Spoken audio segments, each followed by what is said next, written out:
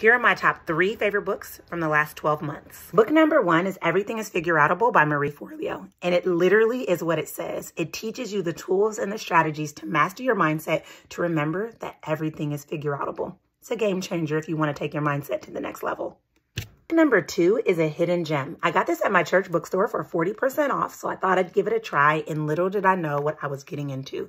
The book is called Sabbath Keeping, and essentially the premise is all about mastering taking time to chill, to do nothing. And it's not the Sabbath in the way that we typically define it. It's literally transforming the way that we think about the Sabbath. And let me tell you, I've committed to Sabbath keeping for over 18 months, and it is a massive game changer. So much so that I've read the book twice in the last year and a half. Finally, the third book is a little shameless plug. It's my book, Master Your Morning.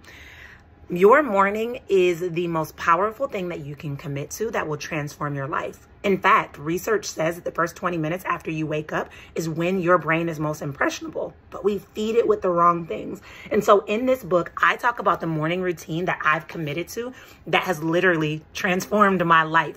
And the best part is I don't tell you that it has to look a certain way. I share strategies and I talk to you about how to make it your own. So grab a copy on Amazon by typing in Master Your Morning, Nicolya Williams, and you'll thank me later.